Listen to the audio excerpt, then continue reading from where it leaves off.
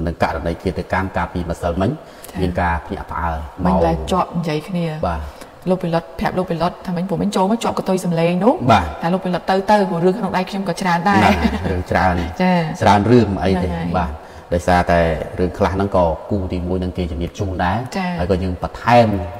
បងប្អូនដែលគាត់មិនបានស្ដាប់ទៅព័ត៌មានគូទី1បាទរឿងនេះក៏គូទី1ជំរាបជូនដែរតកតទៅនឹងករណីឃាតកម្ម ដែលកើតឡើងនៅខាងបរិយជូវ៉ា2នៅសង្កាត់សំរោងក្រោមខណ្ឌពោធិ៍សែនជ័យរាជធានីភ្នំពេញរឿងរ៉ាវនេះផ្អើលកាលពីម្សិលមិញម៉ោង3កន្លះបាទម៉ោង3កន្លះហ្នឹងខ្ញុំជិះតាមឡានហើយបាទហើយក៏ទទួលព័ត៌មាននេះមានការ share ប្រងព្រាតដែរមើលទៅគឺថាវាខូខើពេកបាទគឺគិតកម្មនេះគឺគិតកម្មដ៏គួរឲ្យគេហៅញញើតតែហ្មងប្រិមិត្តបាទ បើនិយាយអំពីឈាមវិញឈាមទាំងធ្លុកប្រិមិត្តណា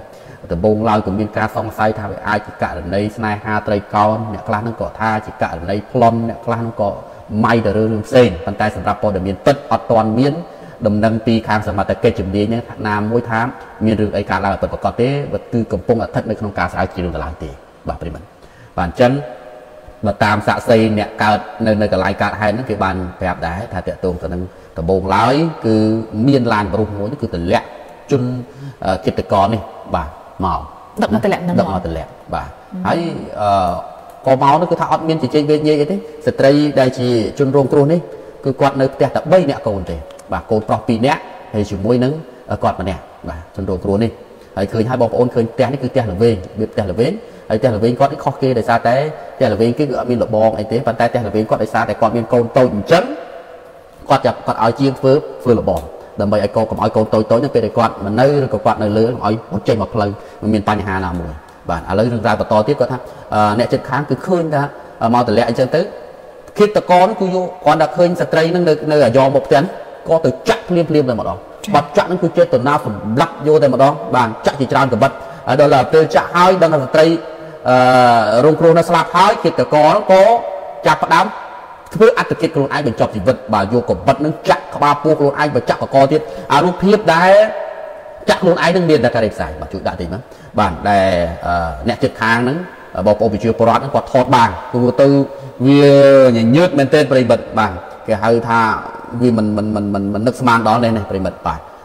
រូបភាពដែលចាក់ខ្លួនឯងមានផ្ញើទៅតា បាទយកកបិតចាក់មកហ្វហ្វទៅម្ដងណាលោកវិសុខពេកសក្តិយើងគាត់មិនអាចដាក់បានអត់ទេមើលពីចងាយទេបាទពីចងាយនេះនេះនេះហើយពីចងាយហ្នឹងហើយចងាយអត់ឃើញចាក់ទេណ៎អត់ពេលចាក់ភ្លាមភ្លាមបាទមើលទៅគឺនេះនេះនេះបាទកន្លែងនេះកន្លែងនេះចាក់ខ្លួនឯងតែសម្រាប់គិតករគឺអត់ស្រាប់ទេបាទប្រិមិត្តបាទគ្រាន់តែរបួសធ្ងន់ឥឡូវបញ្ជូនទៅកាន់មន្ទីរពេទ្យសង្គ្រោះបន្ទាន់ហើយទៅកាន់មន្ទីរពេទ្យសង្គ្រោះបន្ទាន់អញ្ចឹងពេលដែលបើសិនបើនៅជីវិតរស់បាទខាងសមត្ថកិច្ច លោកងាយស្រួលធ្វើការបាទអាចក្នុងការសាកសួរបាទតែបើបាត់បង់ជីវិតគឺសមត្ថកិច្ចគាត់ធ្វើការទៅតាមជំនាញផ្សេងទៅទៀតអានេះពីក្រមការងារយើងណាគាត់តម្លាក់រឿងនឹងមកនេះខ្ញុំអត់បងឲ្យលោកពិលុតអឺតកតងអានេះមិនមិនលោកពិលុតនិយាយអស់នៅបាទរឿងអីបាទ នេះក៏បាត់ចាក់នេះហ្នឹងចាសុំបន្តទេបាទអឺបន្តដោយសារអញ្ចេះក្រុមការងារយើងគាត់ដាក់មកដែរអញ្ចឹងណាហើយ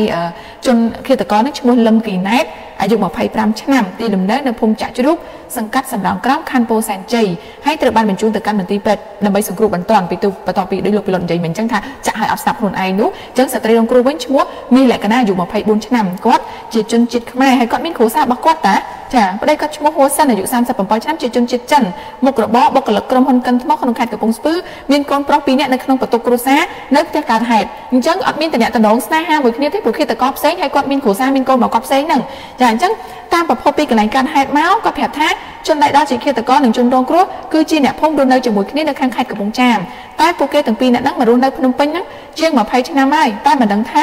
មានតំណែងអីនឹងគ្នាឬក៏មានទំនាស់ទំនាស់អីជាមួយគ្នាទេស្រាប់តែនៅពេលកើតហេតុ ស្ត្រីរងគ្រោះគាត់កំពុងតែនៅសម្រាប់ផ្ទះនៅមុខផ្ទះហ្នឹងពេលដែលជនសង្ស័យជិះរថយន្តម៉ាក Toyota ព្រុសពណ៌សអត់ពណ៌ក្រហមអត់ចាំស្លាកលេខទេស្រាប់តែពេលហ្នឹងពេលដែលស្ត្រីពងអង្គុយនៅសម្រាប់ផ្ទះជនសង្ស័យជិះឡាននឹងមកដល់ឈប់ចិត្តកន្លែងកើតហេតុហើយចុះចូលទៅសួរនាំស្ត្រីរងគ្រោះស្រាប់តែសួរបានបន្តិចស្រាប់ទៅធ្វើសកម្មភាពចាក់យកចាក់យកជាច្រើនកំបិតធ្វើឲ្យស្ត្រីរងគ្រោះដួលស្លាប់ភ្លាមភ្លាមនៅកន្លែងកើតហេតុតែម្ដងបន្ទាប់ពីចាក់ហើយចំណៃដល់ហ្នឹងធ្វើអត្តឃាតចាក់មកលើខ្លួនឯងច្រើនកំបិតមួយថាអាក៏ខ្លួនឯងតាមក្រោយដែរតែអត់ស្លាប់ គ្រាន់តែរងរបួសធ្ងន់ហើយដួលដេកនៅក្បែរសពរបស់ស្ត្រីរងគ្រោះទៅ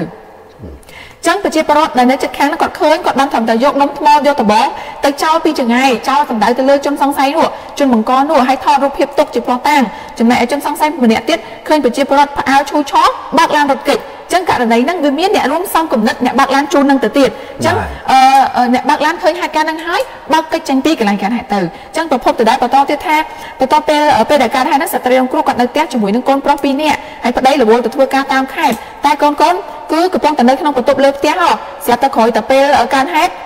មានការផ្ញើផ្អើលខ្លាំងបន្ទាប់មកកម្លាំងសមត្ថកិច្ចចុះទៅដល់ចុះទៅអន្តរាគមតាក់ទងហៅរថយន្តសង្គ្រោះដឹកជនបង្កហ្នឹងទៅពេទ្យព្រះកុសមាដើម្បីសង្គ្រោះបន្ទាន់ហើយសមត្ថកិច្ចផ្នែកជំនាញព្រំខាងខណ្ឌពោធិ៍សែនជ័យរាយការណ៍ទៅជំនាញនគរបាលការិយាល័យបច្ចេកទេសនិងវិទ្យាសាស្ត្រសម្រាប់ ចុះទៅកាន់ទីតាំងដើម្បីស្រាវជ្រាវធ្វើកសលវិច័យទៅលើសពភ្លាមភ្លាមទៅហើយប្រភពពីប្រជាពលរដ្ឋហ្នឹងគាត់ប្រាប់ទៀតថាជនសង្ស័យនិងស្ត្រីរងគ្រោះកាលពីមុនហ្នឹងគាត់ធ្លាប់រស់នៅស្រុកភូមិជាមួយគ្នាដូចនេះខ្ញុំជម្រាបជូនពីលើអញ្ចឹងចាហើយបន្ទាប់មកក្រុមគ្រួសារជនរងគ្រោះហ្នឹងចេញពីស្រុកកំណើតមកនៅភ្នំពេញហ្នឹងជាង20ឆ្នាំហើយហើយជនដៃដល់ពីមុនធ្លាប់ជាប់ពន្ធនាគារប្រើប្រាស់គ្រឿងញៀនហើយនៅជុំវិញរឿងរ៉ាវកាន់ហើយខាងលើហ្នឹងក្រុមគ្រួសារសពគាត់បដិសេធថាអត់មានពាក់ព័ន្ធជាមួយនឹងស្នេហាត្រីកោណអីទេពីព្រោះកូនគាត់មិនដែលមានតំណែងជាមួយនឹងជនដៃដល់ទេណាមួយកូនគាត់ហ្នឹងមានប្តីមានកូនពីរទៅហើយហើយប្តីប្រពន្ធគេគេរស់នៅសុខស្រួលជាមួយគ្នាសឹងអីហ្នឹងចាហើយក្រោយការហេតុសមត្ថកិច្ចជំនាញគាត់ធ្វើខាងកសលវិច័យហ្នឹងចាគាត់ធ្វើកសលវិច័យសពហើយធ្វើលិខិតបកគលសពទៅឲ្យសាច់ញាតិចាត់ចែងធ្វើបន់តាមប្រពៃនេះទៅហើយរឿងរ៉ាវមូលហេតុខាងលើផ្នែកជំនាញហ្នឹងអត់បានបញ្ជាក់ប្រាប់ទេកំពុងតែស្រាវជ្រាវបន្តរងចាំចម្លើយបញ្ជាក់សារភាពពីជនដៃដល់នៅពេលក្រោយប៉ុន្តែករណីនេះបន្ទាប់ពីយើងខ្ញុំលំអិតទៅឃើញថាតើប៉ាត់លោកផលិតអ្នកដែលគួរតែស្រាវជ្រាវរកអ្នកបើកឡានដឹកមកនេះទៀតណែបាទជាការពិតមហាជនក៏គាត់ មានមតិយោបល់ចឹងដែរប៉ុន្តែនេះគឺជាការងាររបស់សមត្ថកិច្ចបាទអ្នកដែលយើងត្រូវស្រាវជ្រាវបច្ចុប្បន្នបាទមុខសញ្ញាហ្នឹងគឺអ្នកដែលបើកឡានដល់តម្លាក់មកហ្នឹងប៉ុន្តែបើយើងស្ដាប់ព័ត៌មានទៅសម្រាប់ជនដៃដល់នេះបាទគិតកោនេះជាអតីតអ្នកជាប់ពន្ធនាគារហើយក៏ធ្លាប់ប្រើប្រាស់គ្រឿងញៀនដែរវាជាប់វាជាប់បញ្ហាហ្នឹង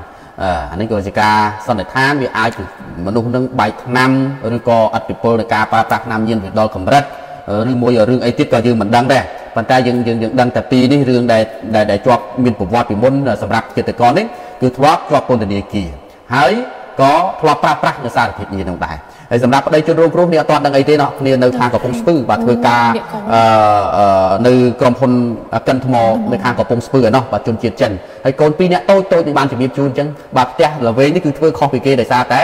គ្នានៅតែ3នាក់កូនបាទ3នាក់កូនតូចម្ដាយមួយកូនពីរហើយអញ្ចឹងទៅអត់ហ៊ាន បាទប្រឡែងបដោយទេចឹងធ្វើលបងខណ្ឌបាទពីមុខអញ្ចឹងកុំឲ្យខ្លាចកូនរត់ទៅបាត់ហើយវាអនុញ្ញាតអនុញ្ញាតកូនទៅពេលតែម្ដាយមកមុខសង្ស័យតែខាងគិតកោនឹងហៅម្ចាស់ផ្ទះមកទៅបើពេលអញ្ចឹងទៅជនរងគ្រោះគាត់ចេញមកដល់ពេលចេញមកទុកកូននៅតូចតូចនៅលើពីនេះអត់ដឹងអីទៅចាក់សម្លាប់ចាក់ចាក់ឲ្យមកចាក់ខ្លួនឯងទៅទៀតបាទហើយឃើញវីដេអូមួយទៀតដែលបងប្អូនវិជាពលរដ្ឋយើងគាត់ព្យាយាមចូលទៅជួយដែរប៉ុន្តែ បានត្រឹមតែយកដំបងគប់បាទឃើញអាវីដេអូហ្នឹងគប់មានដុំថ្មអីគប់ដែរតាប៉ុន្តែគឺតកនឹងនៅតែបន្តសកម្មភាពចាក់រហូតតែម្ដងបាទអញ្ចឹងបានថាមកបាំងយ៉ាងបិទតែមិនដឹងថាជាអឺ